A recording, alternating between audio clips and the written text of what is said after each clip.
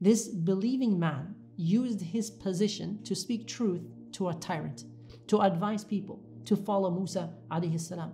And you know, it is upsetting for a person when you're trying to call people towards something good and they're trying to call you towards their pathways of evil. He says, وَيَا قَوْمِ مَا لِي أَدْعُوكُمْ إِلَى النَّجَاةِ أَدْعُوكُمْ إِلَى النَّجَاةِ وَتَدْعُونَنِي إِلَى النَّارِ You're calling me towards the fire. How is it that I'm, I'm calling you towards something good? You're calling me towards something evil. In other words, I'm calling you to be forgiven by Allah. This is for your own sake. You are from my people and I am from amongst you. The most repeated story in the Quran is the story of Prophet Musa alayhi salam, Moses. And it's interesting to see all the different experiences that he had. He was sent to the most wicked of people in history. He was sent to Fir'aun, the Pharaoh. And Prophet Musa alayhi salam had to endure a lot throughout his experience. Something interesting takes place. Allah subhanahu wa ta'ala informs us in the Quran about an individual who is unnamed. So his legacy is powerful. His reward is unimaginable. And Allah subhanahu wa ta'ala highlighted this individual, and this was during the uh, moment in which there was a conversation between this man, the believing man from the family or the people of Fir'aun, and Fir'aun himself.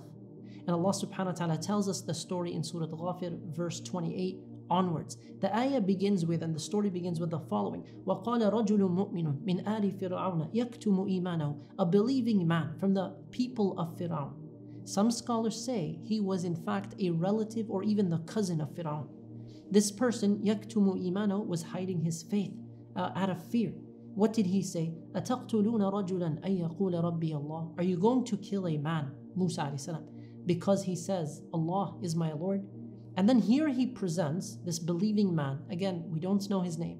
He presents some persuasive reasons for not killing Musa salam and for considering his argument. So, for example, he says, وَقَدْ جَاءَكُمْ بِالْبَيِّنَاتِ مِنْ رَبِّكُمْ He has come to you with clear signs from your Lord. And there were many signs that had taken place. And then he says, if he's lying, then the lie will affect him. It's on him, it's his loss. But if he's telling the truth, then a calamity will befall us. And there were calamities that had befell the people before them. And then he says, Allah will not guide those who are transgressing and they are liars. Notice here, in the story of this individual, this believing man, he keeps saying to his people, Ya qawmi, Ya qawmi. For example, Ya qawmi lakumul mulk al Oh my people, oh my people. He's from amongst them. Sometimes one of the most impactful things you can do when you're advising someone is to call them with something that is close. Oh, my dear brother, oh, my dear sister, oh, my family, oh, my community, oh, my people. And when you call upon them as such, it will have a greater emotional, persuasive impact, inshallah. He says, وَيَا قَوْمِ إِنِّي أَخَافُ عَلَيْكُمْ يَوْمَ التَّنَادِ Later on in the story, he says, I fear for you a day in which people will be crying and calling out to one another. And he says, there, there were people before us. وقال الذي آمن يا قوم اتبعوني أهدكم سبيل الرشاد He talks about the people from before, the people of Nuh, the people of Thamud. They were punished for uh, attacking their messenger. And then he says, Oh my dear people, follow me. I will show you. I will lead you to the way of guidance. And then he says, Ya qawmi, my people, innama hadi al dunya mata. This life is uh, an enjoyment, it is a fleeting, quick uh, illusion of, of pleasure. And then he says, وَإِنَّ الْآخِرَةَ هِيَ دَارُ الْقَرَارِ And the hereafter is the home of settlement. That's where you're heading. This believing man used his position to speak truth to a tyrant, to advise people to follow Musa alayhi salam.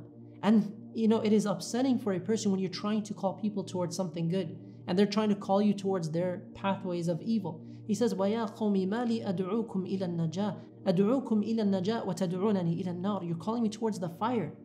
how is it that I'm, I'm calling you towards something good?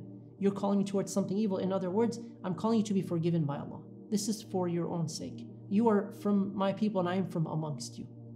And then at the very end, he says, You will remember what I say to you. I'm fast forwarding through this story but most importantly is to notice how he calls upon his people, calls upon his people, calls upon his people. He speaks directly to Fir'aun. He challenges what's happening. He gives him a persuasive intellectual argument. And at the very end, he says to his people, You're going to remember what I said. You are going to remember. Ultimately, I entrust my affairs to Allah subhanahu wa ta'ala. And then he says, Inna Allah basirun bil. Allah subhanahu wa ta'ala is all seeing of his servants. فَوَقَاهُ اللَّهُ سَيِّئَاتِ مَا مَكَرُوا Allah saved him from their evil plans and their plots. And then Allah subhanahu wa ta'ala tells us, وَحَاقَ بِآلِ فِرْعَوْنَ سُوءُ الْعَذَابِ And the evil punishment took the people of Fir'aun. I want you to think about this believing man. This man was a believer. He hid his faith for a while. He started calling people towards the truth, used his platform for something good. What are you doing with the platform that you have? What are you doing with the situations, the networks, the contacts, the social media that you have?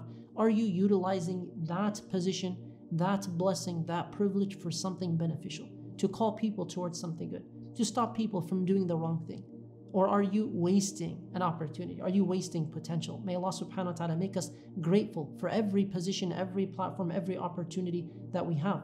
The people of Fir'aun, the, the those who continue to follow Fir'aun and ignore Prophet Musa salam, they saw sign after sign after sign after sign, and all of these signs from Allah subhanahu wa ta'ala, they rejected them due to their arrogance. Finally, they chase Musa salam and the few followers, the believers that were with him. They chase them and they're basically trapped. You have the Red Sea behind you and the enemy in front of you. And Allah subhanahu wa ta'ala tells us about the miracle that took place with the splitting of the sea. I want you to imagine seeing this yourself. Imagine you're watching as a third party, and you have a group of people with a messenger who showed them all the signs and proofs that they needed that this was truly a messenger of God. Every miracle you can imagine that, that was mentioned, imagine you saw it as well. Now the sea is splitting and he goes through, they, they're going through the, the split sea, they're going through the Red Sea. And right behind them, you have Fir'aun and the arrogant followers, those who are obeying Fir'aun blindly, choosing to pursue and kill.